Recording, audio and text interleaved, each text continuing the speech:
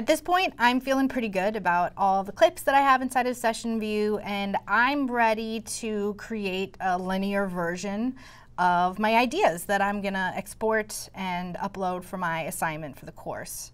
There's two ways to do this, and I'm gonna show them both to you. So I'm gonna start by performing it into the arrangement. First off, I'm gonna head up to the transport here. So the transport is the stop, play, and record icons that relate specifically to the arrangement. So we've seen in session view here, there's so many play icons, there's so many stop icons, there's so many record icons, and that's just per clip, right? So now we want to be manipulating what's happening right here in the arrangement.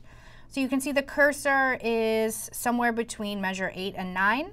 So what I'm going to do is press stop a few times to get it to go back to the beginning of the arrangement because this is where I want the beginning of my song to start.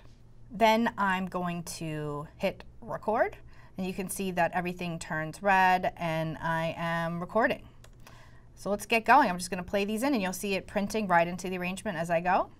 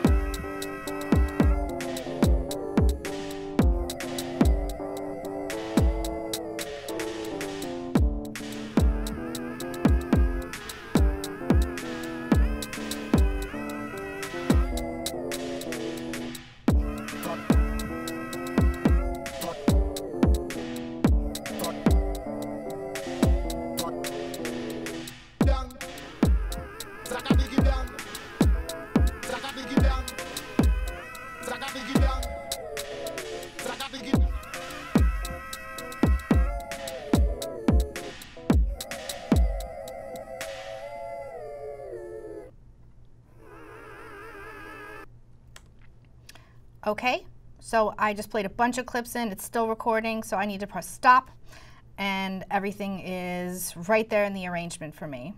So it's all kind of grayed out. You can see that it's not bold like the rest of the colors in arrangement view right now, like it's got a little veil over it. This button right here, this is called the back to arrangement button. And there's something that's really vital to understanding about live that's gonna make working in it a lot easier. When it was originally developed, it was made for electronic musicians to be playing electronic music live on stage. So live is always under the assumption that you're performing live and that you really only want to be working in the arrangement when you specifically tell it that that's the case, right? So that is the case right now. I'm not performing anymore. I was performing. And so now I need to hit this button. It's called back to arrangement again. And when I click it, it's going to disappear. So it's a little bit confusing, but here I go. It's gone. And the entire arrangement is now bolded for me. So if I was going to go back here and just press play, I could do that from any point in the arrangement.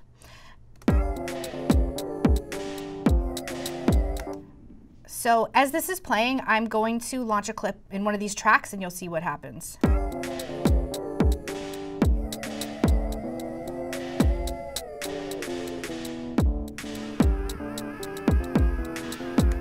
So I launched a clip in track two, and that is then graying out this track, and it's saying, oh, you're performing live. Let's just override what's happening in the arrangement and let you do what you want to do during this point in time. Um, and when I'm ready, I go back to the arrangement. So there's a lot of flexibility, but with all this power comes somewhat of a responsibility to be in control of what's playing when. That's one way to get everything in. It's to perform it in using the transport here, pressing record, and then literally just launching the clips when you're ready to have them play back. Another way to do this, and quickly I'm just gonna delete everything, is to drag. Drag everything in. So I'm gonna click and I'm holding down on this clip here. I'm pressing tab and you can see I get to drop it wherever I wanna drop it on this particular track here. This is the one that's associated with the, the drums. So this is the track where it belongs. And then I could just pull out if I want to have this duplicate, or I could use Command D in order to duplicate directly adjacent to the clip itself. So I've got three of these, maybe four makes a little bit more sense. And then I'll come grab a couple of these, pull this out for a little while, so on and so forth. I can do this with all of these clips as well. I mean, I don't want this to come in until a little bit later. And we'll bring in some of these.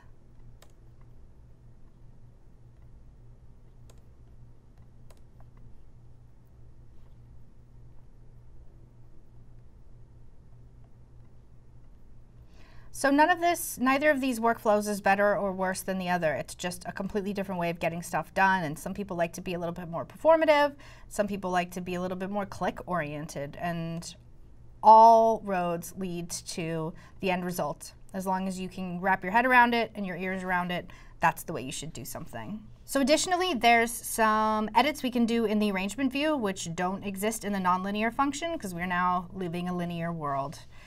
So if I was in the middle of this clip here, I'll just use my marquee. I've clicked in the timeline here and I want to make a split.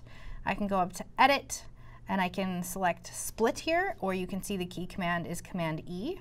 And then I make two clips out of this one, and I can just grab the top and move one over to the side or any, any which way. As long as it's looped or there's more MIDI information, I can expand and contract just like a MIDI note itself. On audio clips, I also have the option of fading. When I hover over this clip, you can see that the four corners have squares in them. And as I reach over, I can grab this square and pull over if I want to have a fade. So let's just quickly listen back to what this sounds like here.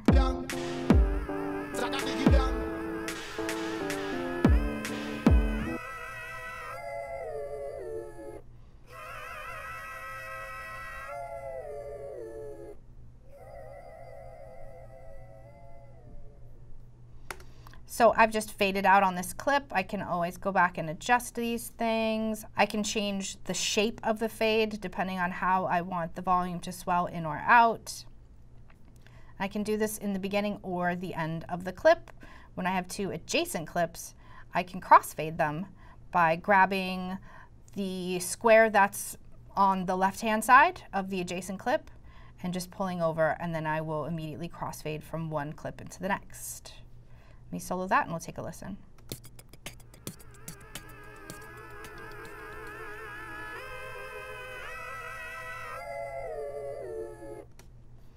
So we have a lot of flexibility and you can do some really creative things with fades and arrangement edits and however you want to get your stuff into the arrangement, it's totally up to you. And this is how we're going to create a linear version of all of our ideas.